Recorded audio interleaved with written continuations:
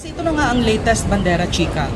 20 years na sa entertainment industry ang tinaguriang ultimate multimedia star na si Tony Gonzaga. At sa loob nga ng dalawang dekada ay marami na rin siyang kinaharap na challenges sa kanyang personal na buhay at career. Pero knows nyo ba na noong nagsisimula pa lang ang career ni Tony ay talagang takot siyang humarap sa mga showbiz reporter.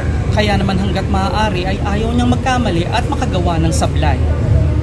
Sa nakaraang press ko ng 20th anniversary concert ni Tony ay nagbigay nga siya ng paliwanag tungkol dito kasabay ng pagbibigay ng ilang detalye about her anniversary show.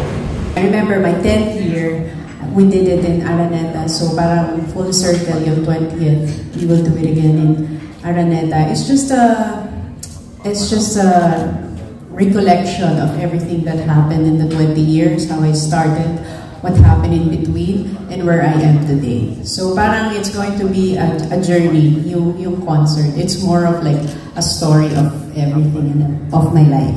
When I look back, I'm, I'm still the same uh, Tony who started in the industry. Yung simple lang, yung simple lang din yung pangarap ko to be able to do what I love to do, uh, what I'm really passionate about.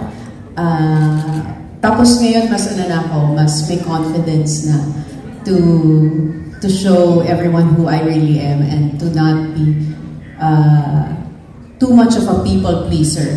Kasi when you're when you're new in the industry, parang na-realize ko in my 20s, I was so scared. Takot na takot ako pag may press ko, takot ako sa press, baka magalit sa akin.